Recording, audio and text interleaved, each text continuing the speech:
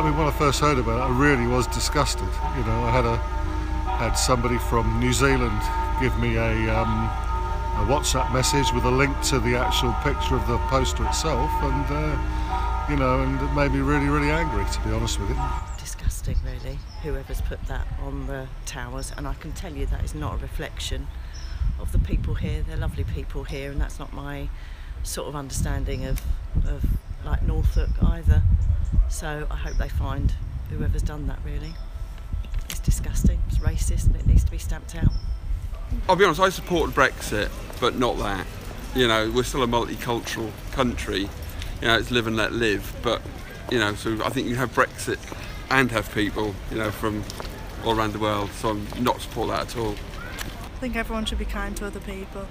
I, I just, uh, it's disgusting. Not a fan of that. Everyone, everyone's the same. We're all the same people. We should be kind to everyone.